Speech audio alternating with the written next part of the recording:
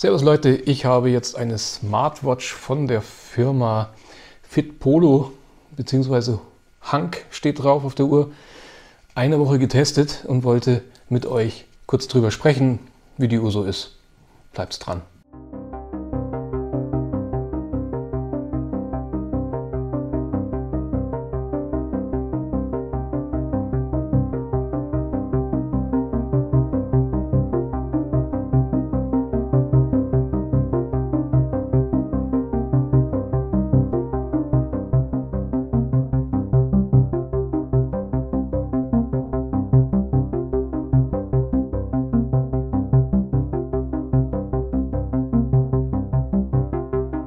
So, erstmal grundlegend, es ist eine, also wird als ja, mehr oder weniger Militär-Smartwatch beworben, was ich natürlich nicht ähm, nachempfinden kann. Die ist wahrscheinlich sehr stabil, wasserfest IP86 steht drauf und ist auch wasserabweisend also, oder fest. Ich war mit der baden und hat funktioniert bei warmem Wasser.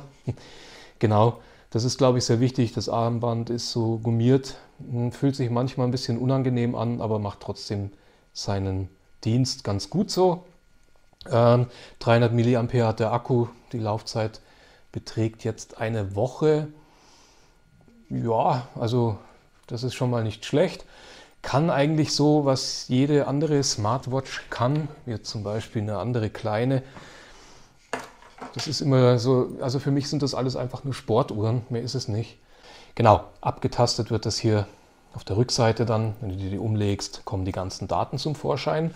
Ich habe jetzt keinen direkten Vergleich, ähm, nur mit der anderen, die ich noch habe und die, die Werte liegen in etwa gleich. Ob das dann hundertprozentig stimmt, das kann ich nicht sagen. So, schauen wir uns doch mal an, was die Uhr eigentlich alles kann. Wenn man hier drauf drückt, dann wird die Uhrzeit angezeigt. Wenn man da drauf drückt, die Reaktionszeit, so ungefähr eine Sekunde, bis das Display dann angeht. Ich habe das Display auf 10 Sekunden eingestellt. Also es ist dann 10 Sekunden beleuchtet. Ja, man kann verschiedene ähm, Optiken wählen. Ich habe jetzt diese genommen, weil man die Akkulaufzeit, Datum, Uhrzeit, ähm, Wochentag drauf sieht, Kalorienverbrauch, Wetter, dann die Herzfrequenz, wie schnell man geht und die Schritte am Tag. Nach links rüber wischt, hat man täglichen Übungsüberblick, also Kalorien, wie viel, wie viel Kalorien man verbrannt hat, ähm, die Entfernung, Schritte. Dann haben wir hier die Schlafzeit, das wird angezeigt. Also das kennt man ja eben. Also hier sieht man das nochmal Distanz, genau. Da kann man es nochmal ganz deutlich sehen. Dann haben wir hier die Schlafzeit, wird ja auch bei vielen Uhren aufgezeichnet, kann man da sehen. REM-Phase etc. Und so weiter. Hier haben wir den Herzschlag, die Frequenz, kann man da sehen. Niedrigste und so weiter, wird alles angezeigt und auch auf der App aufgezeichnet. Sauerstoff, Blutsauerstoff, es, wird, es dauert immer eine Weile, bis es dann angezeigt wird. Da ist ganz nett, haben wir die Wetter-App wird da übertragen und drei Tage Trend wird auch angezeigt. Dann kann man hier ähm, ja, Media steuern, also das heißt jetzt zum Beispiel Musik hören und so weiter, Adressbuch, Anruflisten, Wahltastatur. Ähm, ich habe mit der Uhr schon telefoniert und das funktioniert sehr gut. Also ich habe jetzt vorerst mit einem Kumpel telefoniert und er hat gemeint, ähm, man hat da wirklich alles wunderbar verstanden. So soll das auch sein. Finde ich ganz toll. Also hier sieht man dann die Nachrichten werden angezeigt. Und ja, genau auf der Seite, wenn man rüberwischt, dann eben Telefon. Oben sind dann ein paar Einstellungen, ob man das Telefon nutzen möchte. Ähm, da, das ist der ähm, Knopf zum Finden des, des Handys. Es klingelt dann. Da haben wir so eine Art Taschenlampe, ist halt ein weißes Display einfach. Ja, hier kann man anzeigen lassen, ob man bei Bewegen der Uhr ähm, das Display zeigen möchte, also die Uhrzeit sehen will.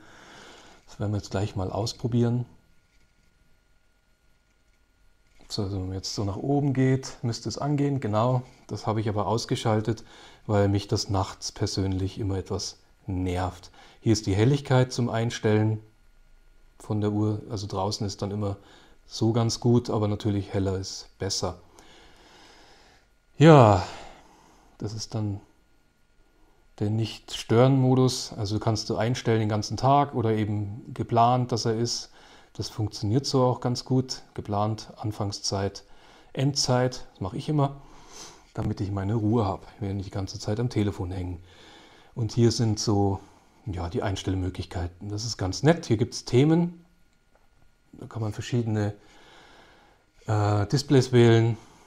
Ich habe halt, also sehr schick, gefällt mir ganz gut, aber ich habe dieses eben genommen, weil da der, die, die Übersicht halt sehr schön ist von dem Display. Gehen wir nochmal zurück auf die Einstellungen. Datum, Uhrzeit haben wir da, Sprache, ja klar. Sport kann er erkennen, die Helligkeit kann man hier einstellen, Vibration, das was wir eben gerade oben auch noch gesehen haben, ja ein bisschen Systemsachen. Wenn man Sport machen möchte, dafür gibt es einen zweiten Knopf. Und da habe ich jetzt genau drei Sportarten drin, weil ich nichts sonst mache. Ja, nehmen wir mal die Rudermaschine, dann startet es mit dem Counter automatisch. Und sieht man eben alles auf einen Blick. Hier kann man dann währenddessen noch die Musiksteuerung dann einstellen. Und ja, jetzt, wenn man rüberwischt, ist angehalten und dann geht man da wieder aktiv weiter und so wird der Counter gezählt, beziehungsweise einen Counter gibt es bei der Uhr nicht. Ich habe nichts gefunden. Schade eigentlich. Äh, Stoppuhr ist gut, aber ein Counter fehlt mir absolut.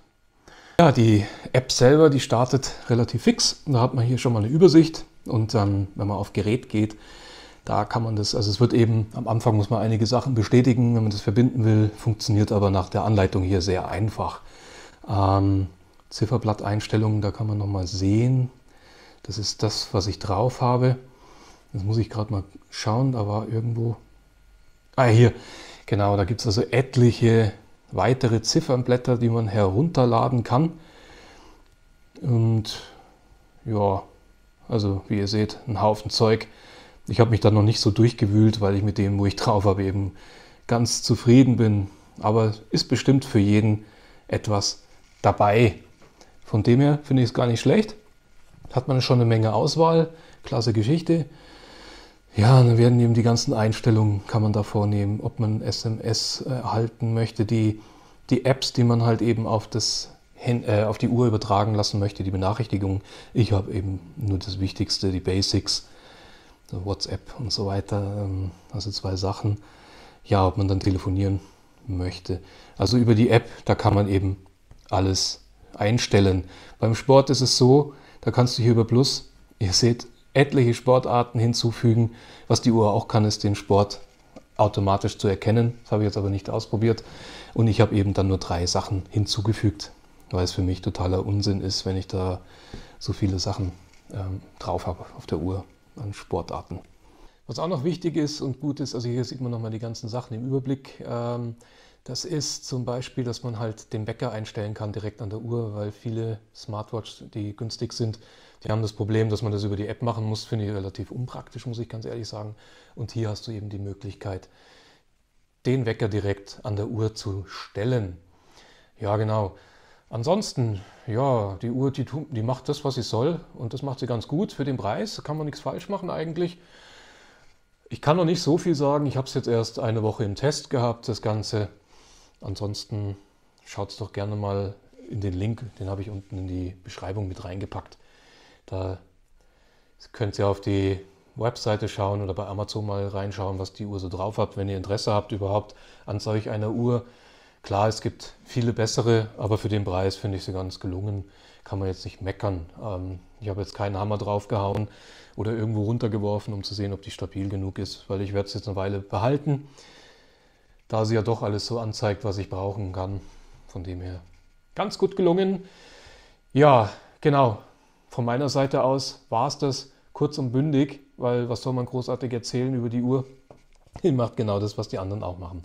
Danke fürs Reinschauen. Bis zum nächsten Mal auf meinem Kanal. Macht es gut, bleibt gesund. Ciao, ciao.